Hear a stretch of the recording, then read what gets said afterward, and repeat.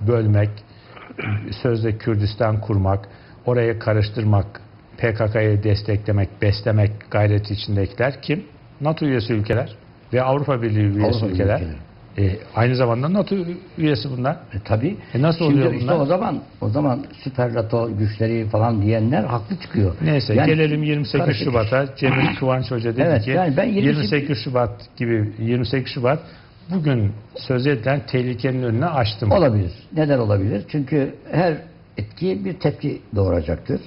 O o zaman yapılan işte bu eğitimdeki yeni düzenleme yani zo- zorunlu 8 yıllık eğitim meselesi biraz bazı Kur'an kurslarının kapatılması işte ilahiyat fakültelerinin önünün de kapatılması falan gibi bir takım unsurlar zaman belki e, e, timingi biraz erken olmak suretiyle aniden gelince bir şok şeklinde karşı tarafta buna bir tedbir almak zorunda kaldı ve işte bu iktidarı getirdik.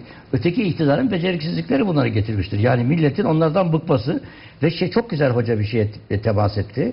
Dedi ki peki nasıl oldu da dedi yani İktisat Fakültesinin birinci sınıfında çocukların bileceği kadar e, makroekonomiyle e, eli- elinde sihirli değnekle aynı kanaatteyim. Aynı kanaatteyim ve o zaman e, bir gün Sayın Demirel bana telefon etti. Bodrum'daydım. Dedi ki şu arkadaşına söyle dedi. Bir partide iki lider olmaz. Almasın bunu dedi. Aynen böyle. Kendisine telefon ettim. Sayın Deniz Baykal'a. Şimdi kitapta da yazacağım uzun uzun. Dedim ki böyle böyle diyor Demirel. Bu senin zincir bozan arkadaşın. Aynı partiden değilsiniz ama ben, ben sana mesajını iletiyorum. Ya teşekkür ederim dedi ve aldı. Altına halılar döşedi.